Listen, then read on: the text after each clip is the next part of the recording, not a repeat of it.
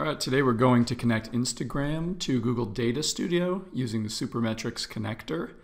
Uh, in this demo, we're going to actually come off of a, a, template that we've created for free, which you can use for Instagram metrics. Um, you could also do this in your own report. Um, so uh, just want to show you quickly how this is done.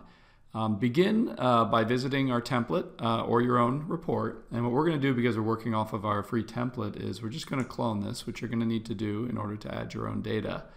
Um, and then what we're going to do is create a new data source. Because currently our template is connected to our own data, and you want to connect it to yours, obviously. So in the cloning process, you will create a new data source. And you can give that data source a name.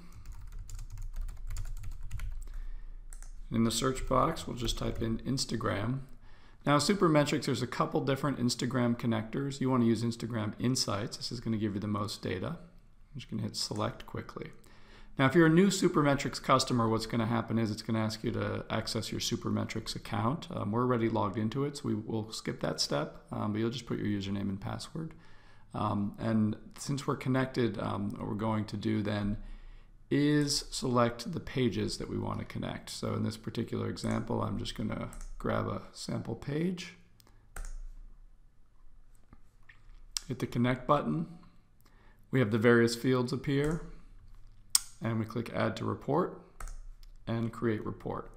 So now what you've done effectively is copy our template into your own account and only you can access it and you've attached it to your own data source. Um, you know, hopefully that's uh, the Instagram account which you want to track.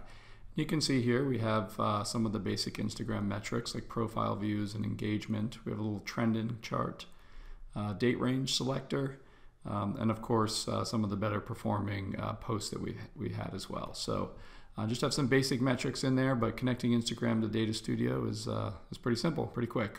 Hope you enjoy. Thanks.